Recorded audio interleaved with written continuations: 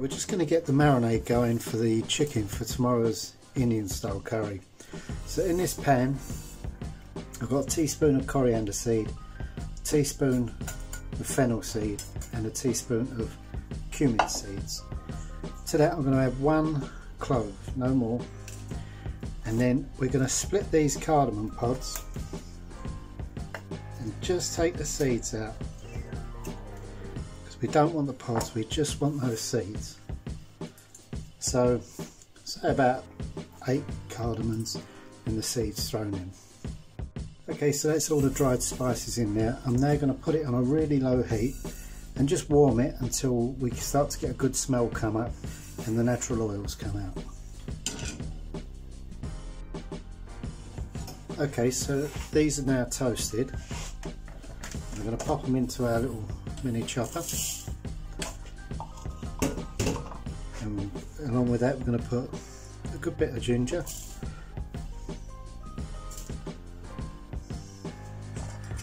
Good bit of garlic. And then we're just going to grind that. Okay let's start to grind it. So we're going to add some lemon juice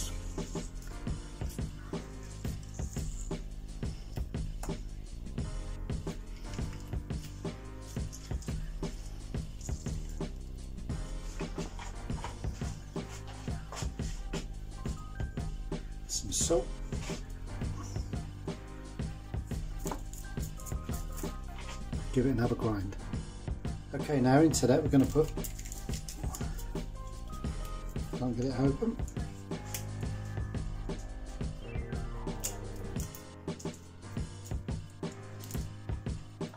Some chili powder.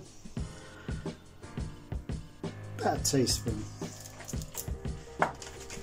And then teaspoon, well say half a teaspoon of um, ground turmeric.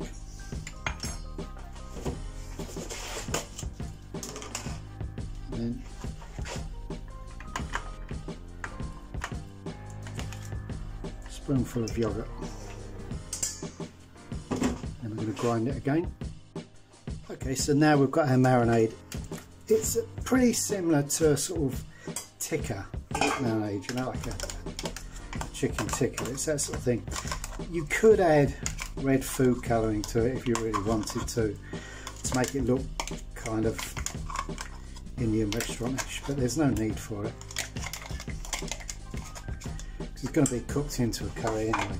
So there you have your marinade. All we're going to do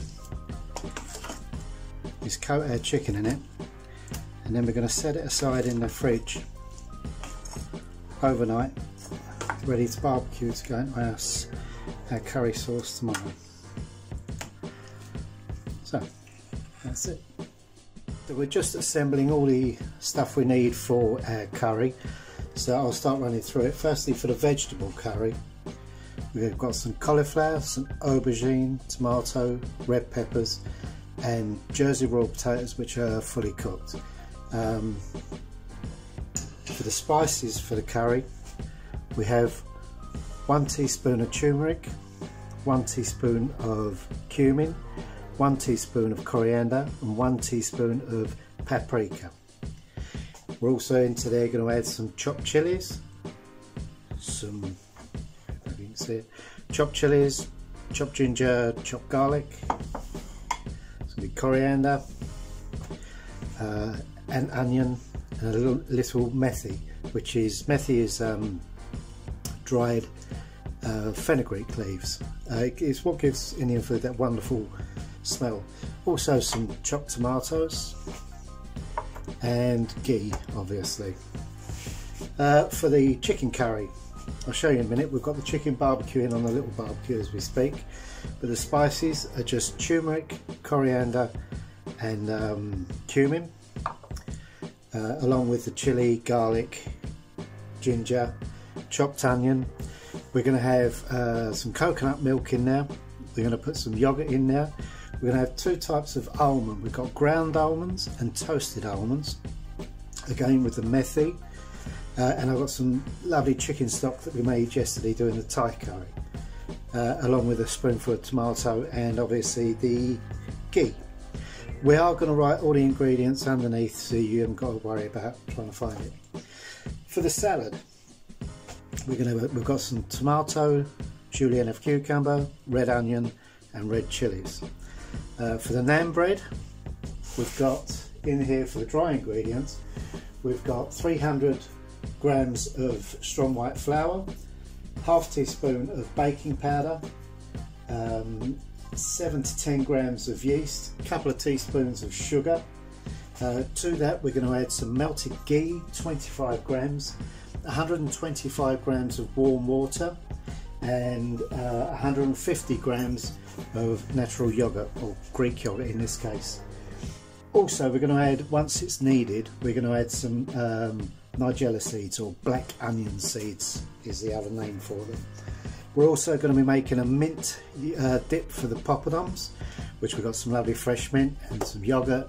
Into that we'll use some garam masala, um, salt, pepper, some sugar. Um, there you go, maybe a bit of lemon juice depending what the flavour is. So there you go, so the menu is um, a nice chicken curry. The chicken curry is not a named curry, it's one that I've done. It's I love dipping naan bread in a curry. My my preference really for curry is Thai, but I love dipping and, and all the bits that go with an Indian curry. My wife loves chicken korma, but I think it's too boring for me. I like something with a lot more spice. So this is a curry I've come up with. It's got the creaminess and the the the, the aromatic approach of the korma, just with some wahi added in now. And then finally for the pilau rice, we've got some chopped shallot.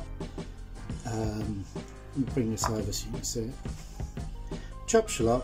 We've got some coriander seed, some cumin seed, um, some fennel seed, some green cardamom seeds, some cloves, and a piece of cinnamon stick.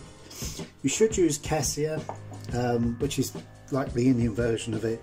Um, I haven't got any, so I'm going to use cinnamon. It's nearly the same. Uh, some basmati rice, obviously. Um, the only part of the meal that we're not actually making ourselves is the poppadoms. Um, but there you go, you can't have everything. Now, why are we doing this ourselves? Why don't we buy a takeaway? This is going to be a feast for four people, and it's all going to come in at less than £25 for everything.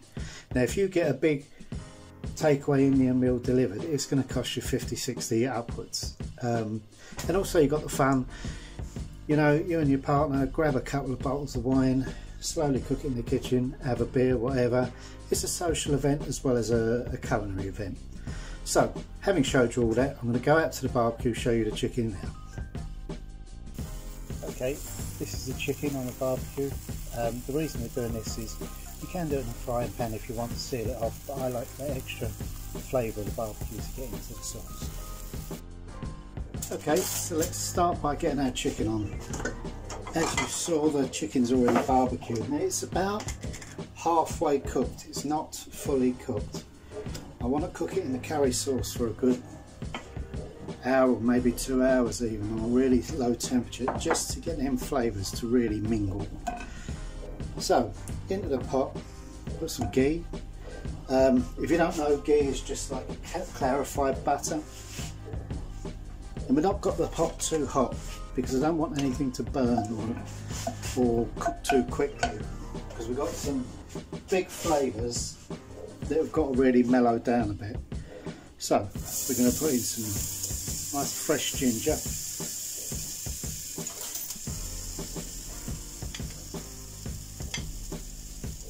Nice wallop of garlic.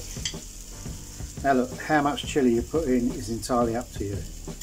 I'm using these little green chilies. I like a bit of heat. I haven't taken the seeds out, I don't see the point. Um,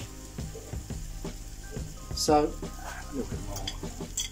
As I say, it's up to you how much and what sort of chilies you use. Just be aware if you're going to use the little tiny bird's eye ones, um, the Thai ones, that they are really strong and uh, yes, they will come and bite you. So we're going to let this cook without colouring for a few minutes to let the flavours really come out. Okay, the smell's changed now. When you're cooking garlic and ginger, you need to be concentrating on the smell rather than the look of it. When it first starts cooking, it's a little bit bitter and sort of not that nice. And then after a while, you start getting this lovely smell of musty garlic bread sort of thing. And that's when you know that it's cooked out enough to continue. So we're going to add some chopped onion, and maybe an onion and a half there and now we're going to gently gently cook the onions as well until they change their smell because as you know when you put onions in they they smell a little bit gassy a little bit um, so we've got to let that smell change so that's probably going to take five ten minutes okay you can see that that's sweated down nicely and you can smell the difference as well now we're going to add the spices remember it's the cumin coriander and turmeric we don't want to rush these spices. We need to let them fry in this ghee. And then we're going to add some tomato and we're going to let that boil away to nothing because we want to keep cooking these spices without all the liquid in there. So it's a slow process of just add moisture, let it cook down, add moisture, let it cook down. And the more you do it, the better those spices are going to taste at the end. Never rush the spices. Okay, now I'm going to add half a tin of chopped tomatoes.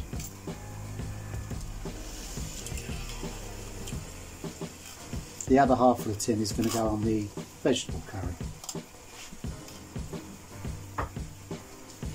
And now we're going to cook these spices and tomato, turn the heat up a bit, and we're going to let it cook right the way down till it's virtually frying again. So we're going to get rid of all of the moisture. By that time, the spice and the tomatoes will have um, intensified. So you can see that most of the moisture's gone. The uh, the ghee's come back and it's it's frying rather than boiling. Each time we add liquid and boil it down, we're intensifying all the flavours. So now I'm going to add a ladle of that chicken stock we made yesterday. And I'm going to do it again. I'm going to boil this right down till all the ghee comes back and it's frying again each time we're doing that intensification is happening. Okay so once again you can see it's down to the ghee so yet again another ladle. Of stock more this time a couple of ladles. And we're going to reduce it right the way down again but this is the last time for the reduction. So we'll come back in five. Well you can see now all that chicken stock has gone again. So what we're going to do now is add some coconut milk There's about two tins I suppose. Don't get the thick one and I've I've already added some extra water to that because I don't want it thick because we're going to add some um, ground almonds now. That's going to thicken it up. So all them lovely ground almonds in there. Don't put the, um, the toasted ones there for later on. So that's those. We're also going to also going to add some palm sugar. About a palmful. Sorry. Okay, it's going to be quite a sweet creamy affair this curry, um, but with plenty of backbone to it. So now we're going to bring this to the boil and then we're going to add our chicken and throw it all in the oven. Okay, let's come up to heat now. Now don't forget the ground almonds as they cook will expand and go sort of mushy so that it will thicken. So we're going to add some salt and pepper, a bit of flavour.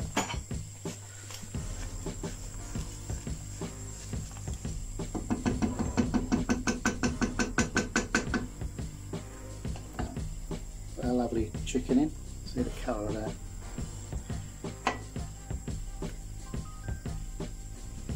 Make this sauce and put breast in if you want.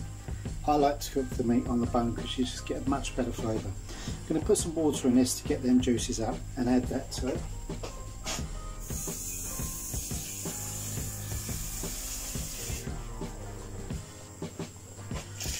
Remember, don't let this get too thick. You won't be able to eat it if it's too thick. You want it just thick enough that you can dunk a naan bread in it and, and enjoy it. So, as that cooks, it will get thicker. So now we're just going to put a lid on that. I'm going to throw it in the oven. I'm going to cook it on 140 for about an hour. You want to cook it on 160 for three quarters of an hour, fine. You know, the lower the heat, the longer you cook it. Um, it will hold together better if it's cooked at a lower temperature, but you could get away with cooking it in half an hour if you really want to. Um, I'm going to go for an hour, hour and a half. As I say, 140 to begin with, then I may turn it round down to 120. So, in the oven we go. Don't keep the curries in the ovens. Uh, let's turn our attention to the naan bread. So you know all the dry ingredients, they're in there. We're going to list it at the bottom of the thing. Uh, in with the, these are lots of lukewarm with the liquids, the yogurt, the water and the ghee. So we put this on, we're going to let it go slowly for about a minute till everything gathers in. Then we're going to turn the power up till it goes medium for about 8 to 10 minutes. Okay, that's kneaded enough. You can tell when it's kneaded enough because it'll form a ball and it will it won't stick to the sides of the um, the bowl. So now we're going to add I don't know a teaspoon of nigella seeds or black onion seeds. This will give it a really good flavour at the end. And now we'll knead it for about another two minutes. Okay, so that's our naan dough made. We're just going to put a cover over it and then we'll leave it to double in size. Shouldn't take that long because it's not only got yeast in it, it's also got a little bit of baking powder. So yeah, half an hour or so. Pop that aside. Meanwhile, we can turn our attentions to the vegetable curry now. Okay, so here we go with the vegetable curry. Same as the last one. We want to cook our ginger, garlic. I'm putting less chilli this time because the paprika I'm using is a, it's a spicy paprika, it's not the sweet so there's going to be a bit of heat comes from that as well. So we're going to let this cook out, get rid of them nasty smells. Okay, they're smelling a lot better now, so we'll add some chopped onion. We'll cook that out for a few minutes. Okay, now we're going to turn the heat down and we're going to add our spices, cumin, coriander, turmeric, spicy paprika.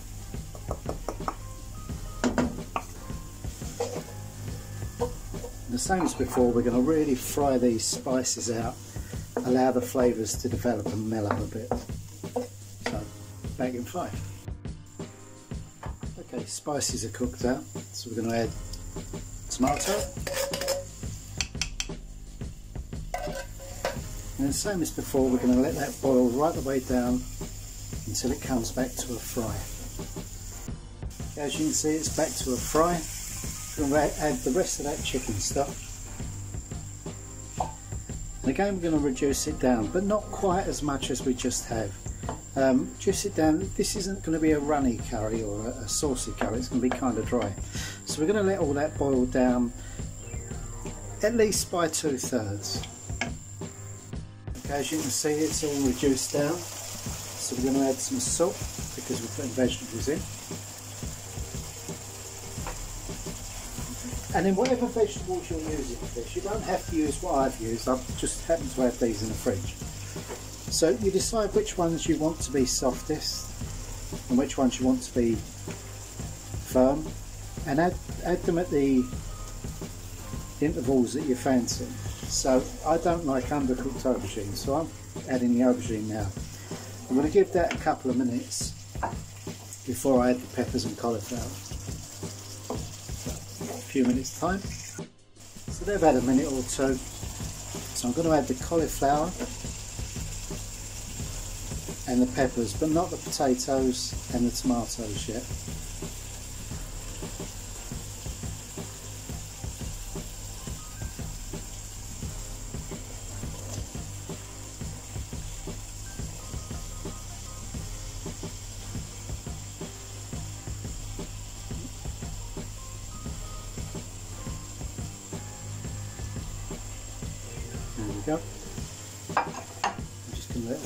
That a bit. You can see it's neither dry nor wet. It's somewhere in between. Okay, so they've cooked out a bit. We're going to add the rest of the ingredients. So if you want to drop a bowl of spinach in there or, you know, whatever veg you fancy, drop all those in. Tiny bit more seasoning. And then we'll just let that soften down a little bit and that's ready to rock and roll. Meanwhile, we'll turn our attention to the salads and dips. Right, I'll just show you the, um, the vegetable curry now is cooked. So we're going to add some methi or fenugreek leaves. This is for the flavour and the smell. And then we can turn this off and then we can just warm it up when the other stuff's ready. So put that to the side the yogurt dip. So we've got yogurt, it's a Greek style yogurt, we're going to season it with salt and pepper. We'll put some garam masala, I suppose about a quarter of a teaspoon. The yogurt's really thick so I'm going to water it down with some milk because we want kind of a dippy thing. We're going to add a little bit paprika I'm using smoked paprika. Look, if you want to use cayenne pepper, that's fine. And then a goodly amount of mint, freshly chopped. You can use a mint sauce if you want, but it's not quite the same. Okay, and then finally, when I find it, a little bit of sugar. Okay, so a little bit of sugar, say about a teaspoon and then we just mix all that together. You want it runny enough so that you can dip your poppadom in it.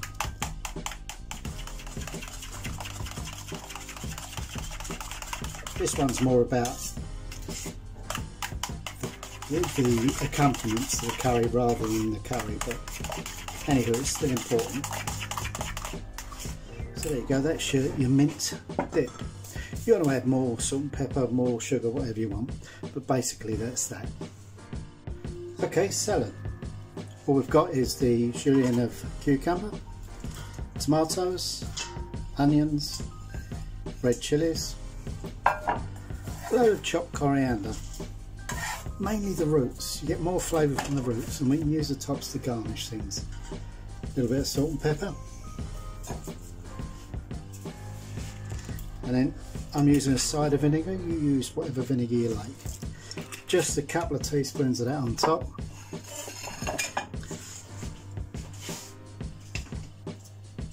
And literally, that's all there is to it. You want to do this about half an hour before you eat because you want the vinegar to work its magic on the onions and break down the sugars in it inside. So there you go, that's the salad, simple as that. But for the rice, what we're going to do is cook the rice in a rice uh, cooker and I'm going to put four cups or four measures of basmati rice and four cups or measures of um, water and then turn it on. When it's finished cooking we're going to add this mixture we're making now. So we've got a good wallop of ghee. Rice loves butter. It always has done. So into that we're going to put the shallots, the um, cumin, the coriander seed, fennel seed, the, uh, the cloves and the cinnamon. And we're going to gently, gently fry that so that all of those lovely aromats come out. We're not colouring it, we're just sweating it. So low temperature, probably 10 minutes or so. Just going to show you the setup I've got for the cooking of the, um, the poppadoms and the naan breads. This is a cast iron tray. Can get them virtually anywhere. TK doesn't really cheat normally. I've got the grill on at 300 degrees and this has been heating up for approximately half an hour. When we put the naan bread on it, it we're trying to recreate the inside of a tandoor oven and you know they're, they're like three, 400 degrees. So this should do it. And also with the poppadoms, we just lay it on there and it will go in, in seconds, it will pop. Um, I'll show you one going.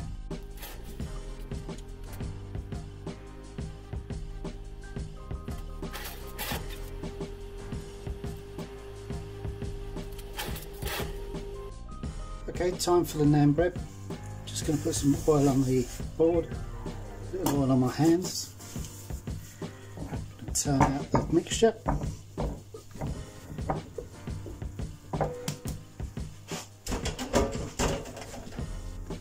Stretch and fold, them air bubbles out.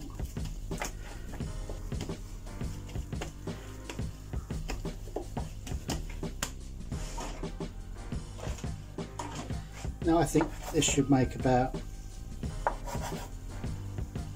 yeah, about eight naan breads. So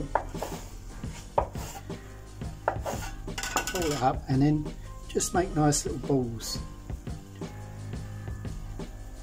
the dough and pop it down. Okay, we've got our little balls done. So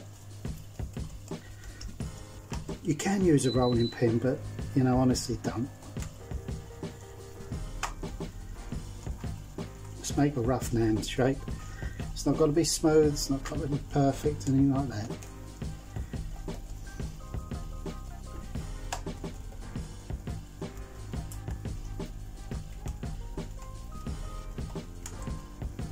There you go, that's a couple of naan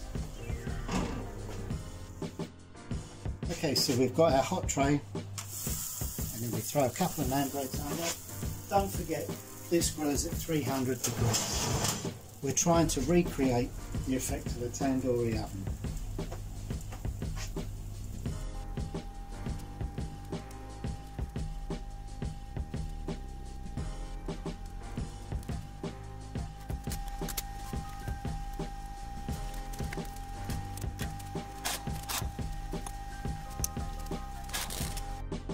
Now the naan breads are out from under the grill, we're just going to brush them with some melted ghee or you know melted whatever. I know it looks like it's all greasy now but it's important to do this because the bread will absorb some of that batter and become all yummy yummy. So what we do with it now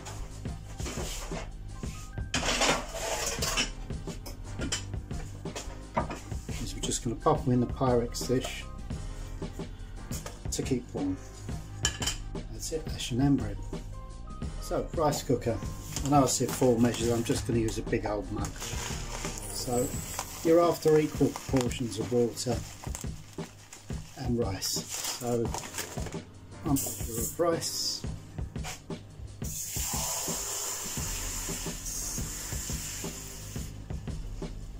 One measure of water. Splash for luck. Some salt. Pop the lid on, turn the rice cooker on. Now it will stop when it's ready to stop and then we're going to add the other stuff.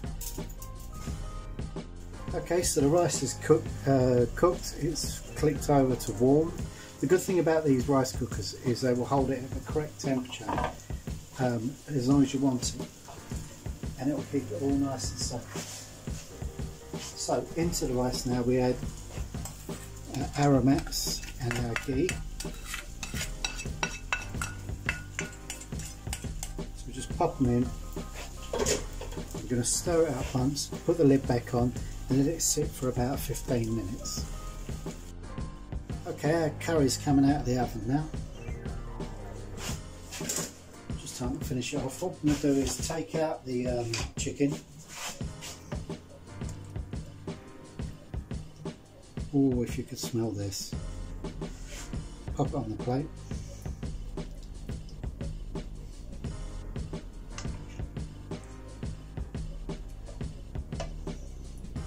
even though it's been cooked a long time in this curry sauce, you can still smell the barbecue on it. It's wonderful. So that's our chick chick. Now we'll just stir this up, check it's not too thick. Actually that's about right. So that. We're now going to add the toasted almonds.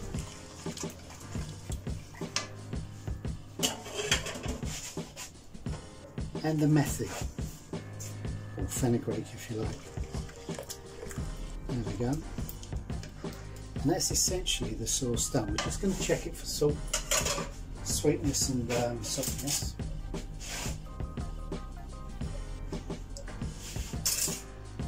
Oh, that's spot on. So there we go, that's the sauce, that's the chicken. What we've got to do now is assemble everything and serve. Okay, here we have your feast for four. Your chicken curry, pilau rice. Now the reason the pilau rice is that colour and not all pretty colours is because we haven't added any artificial colourings or anything. There's your poppadoms, lovely mint yoghurt, my empty beer glass, more beer please. There's your vegetable curry, lovely salad.